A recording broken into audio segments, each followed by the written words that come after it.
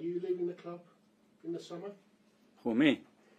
no, that's totally fake news. What you read yesterday is I don't know where it's coming from, and uh, it's totally untrue. I'm really upset about it.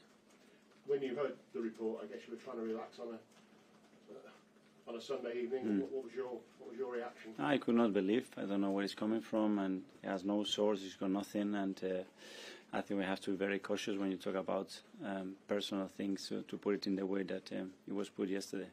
You've got unfinished business here, quite clearly. Mm. I'm in the right place. I'm with the right people. I feel really good about it. And um, as I said many times, we are.